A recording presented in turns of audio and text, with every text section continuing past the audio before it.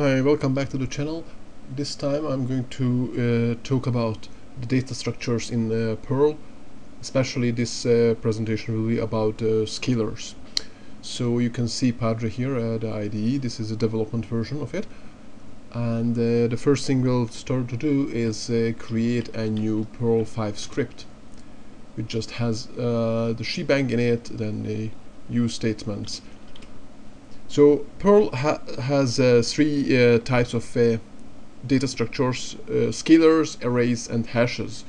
Uh, scalars can contain either a number or a string, a single, single value, or references to one of the complex uh, data structures.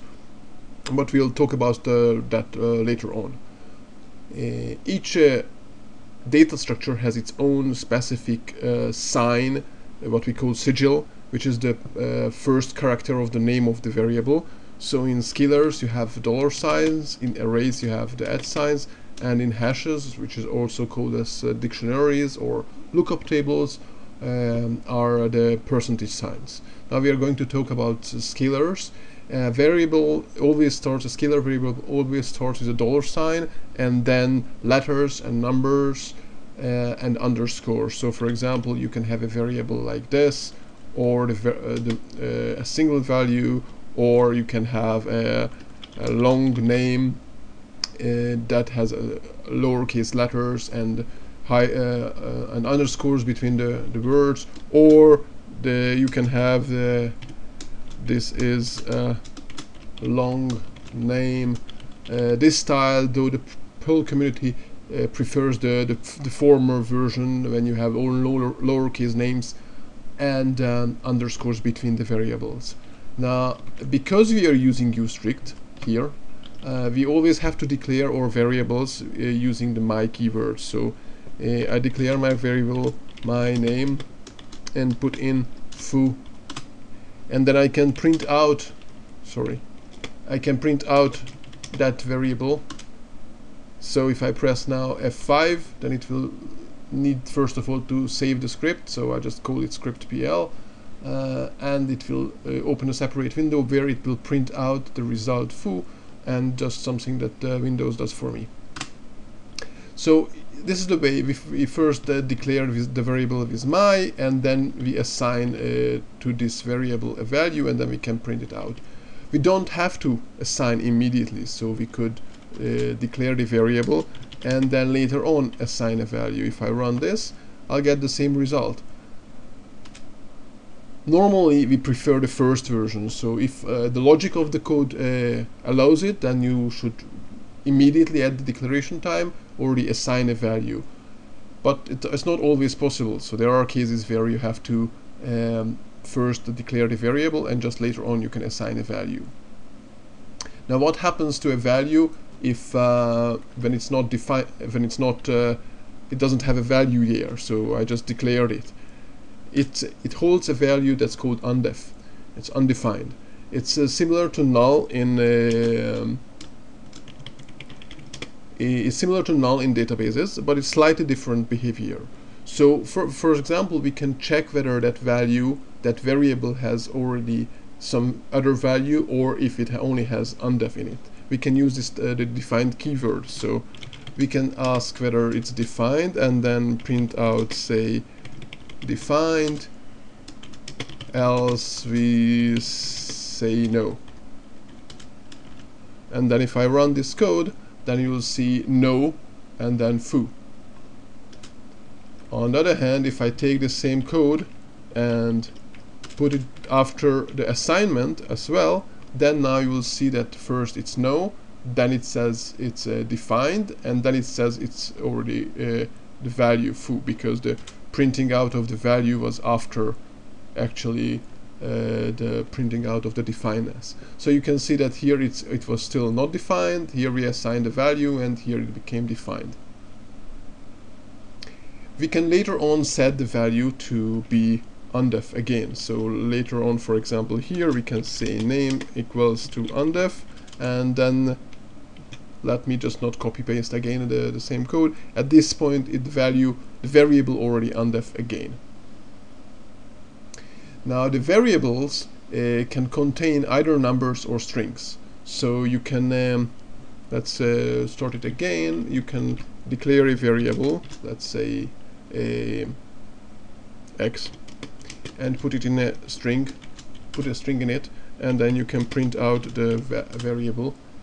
And then you can assign to that same variable a number and then you can print out the variable again. And if I run the code then you will see that first it was a string and then it's now it's a number. And Perl doesn't care about it. Perl doesn't have types uh, connected to these variables. And doesn't enforce anything like that. So how that then the operators work. So in other languages you're, you might you might be used uh, to the fact that uh, different uh, values different variables based on the type of the variables the operators behave differently. Uh, in Perl the way is around is the opposite way. So not the variables not the operands uh, decide what uh, the operator will do but the operator will uh, decide how the oper operands the variables behave. So let's start with another example and um, here uh, let's say I have dollar $z equals to number 3 uh, I can just print it out and then I have another variable called uh, uh, let's say y which is equals to 4 and then I also print that out. And then what's what shall we do? So let's try to take dollar $z and add dollar $y to it. And then also let's try to take dollar $z uh, z I told you z and concatenate dollar $y. So that will put together the two values in some way. And then the third one is uh, let's say dollar z x dollar y which is the multiplicator or or um, repeat, repetitor variable operator sorry.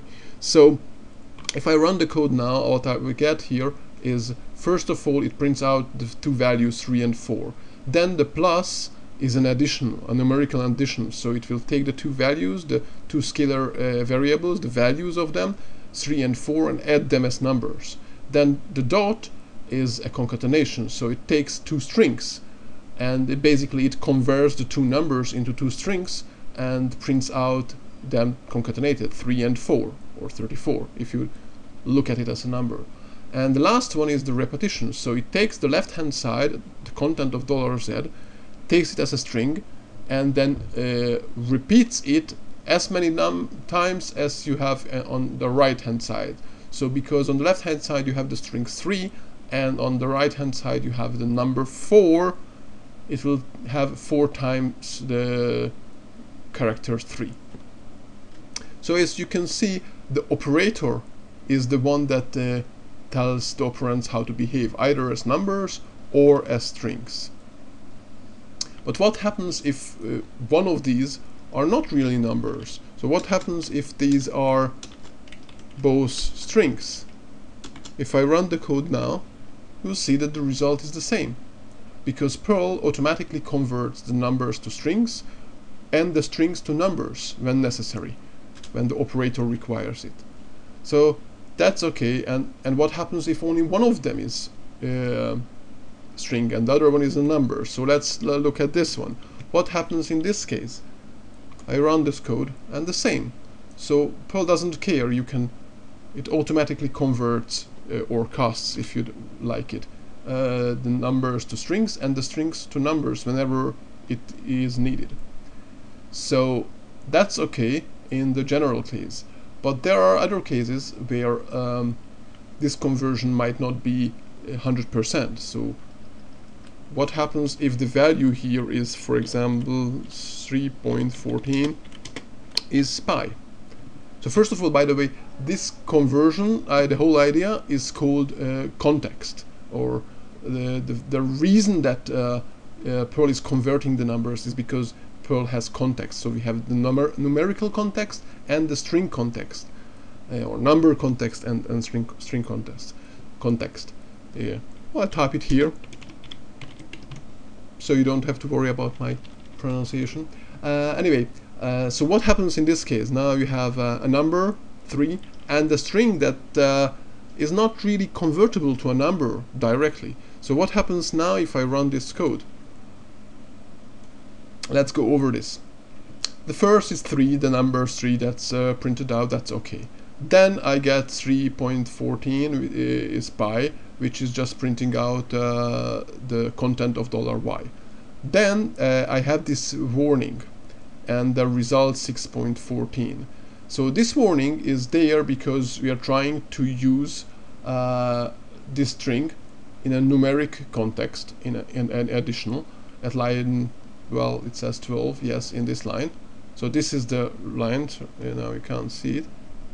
Um, sorry. Yeah so this window. So you can't see this here. Um, this is the string. This is what uh, got converted into a number. So we get a warning. Now this warning you got actually only because you asked for the warning. So it's important to use these warnings. Otherwise it would be silently do something which might be what you want but uh, might indicate some kind of a problem. So now it says 3.14 is pi but in the addition it actually used only the 3.14 so what Perl does is that it takes the left hand side of the string and looks at uh, looks at it and tries to use it as a, use it as a, a, number and at the point and this is the space here uh, when it stops understanding it can't convert it to a number then from that point on it will disregard the value so for that reason uh, we, we used uh, Perl used 3.14 as the value of dollar $y in this addition. Then what you might wonder what happened to dollar $y. Did it get converted or only for the use of this addition? So you can see in this uh, concatenation that here we can we get actually the 3 from the dollar $z and the 3.14 is pi coming from dollar $y. So you can see that dollar $y didn't change. Dollar $y is still the same string. And then if you look at the third one, you see that it's dollar z uh, dollar y times now you would expect probably that you will see 13.14 times the letter 3 but uh, Perl can't uh, print out uh, only it can only work with full whole numbers so in this case so it will convert the 3.14 to 3 and then use that for the multiplication for the uh, repetition but you don't see the warning again uh, as you would normally expect. So what uh, is it because because this operation doesn't gen generate a warning? So let's click here and then comment out uh, comment out the code here and run it again. And now you will see that the warning is on the repetition. So earlier we just didn't see uh, the uh, that warning. And why we didn't see? Because there was no warning. And the reason is that at the time here, when the addition, when the addition uh, caused Perl to convert the string to the number, then it actually stored that new number in the in a magic place in dollar $y. So from that point on, actually dollar $y had two values, a string value and the number value, and that's for to avoid uh, conversion later on. So when uh, we arrive to this point, uh, to use the repetition operator, Perl didn't have to convert anymore, so there was no reason to give a warning either. So that's uh, how conversion works. And now you can now you know how uh, the conversion works from numbers to strings. So from number to string, it's pretty easy. It's just the same uh, value. So you have a number like three, and if you look at it as a string, then it's just a string, the letter three uh, the, the digits 3 and if you have a number uh, a string that is a numbers like 3.14 if this if we only had this one right and if you ran this then it wouldn't have a warning because that's just a number. But because we have uh, something that's not really a number then uh, we get a warning. So a couple of issues that we would like to address here more. Uh, one of them is undef so what happens with undef in the same context? So let's see if, let's say this this case here, uh, my dollar y, and uh, because we know it's undef, so I won't going to won't go to print it. So now we have a declared variable called dollar $z, uh, and dollar $y we declared but didn't, didn't give it a value. Uh, if now I run, and let's uh, comment this out, we don't need it. Uh, now if I run this code, I get two warnings using the initialized telling me that I'm trying to use initialized value. So this means that dollar $y was undef, both in the addition and in the concatenation. Uh, so you can see that um, Perl gives me warnings when I'm trying to use uh, a variable that's undef, either in uh, numeric context or in uh, string context. But as you can see, so let's, well, it's a bit difficult to see, the first say is printing out 3 here, and then this say printing out 3 again, because dollar $y, although it's undef, in numerical context it behaves like 0, and in this concatenation I get 3 again, because although dollar $y is undef, but in string context it behaves like the empty string. If you want to make sure that it's still undef, then uh, print defined and uh, else sorry that should be say not. Yeah it shows that I'm old timer here.